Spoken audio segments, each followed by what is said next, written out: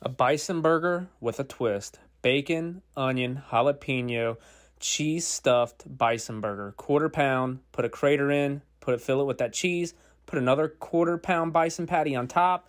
Go ahead and finish it off on the smoker at 325. Top each side with some barbecue sauce when they're around 160. Cheese them and you're ready to serve. That's lettuce, tomato, and onion on there, and you are in for a heck of a meal. Enjoy.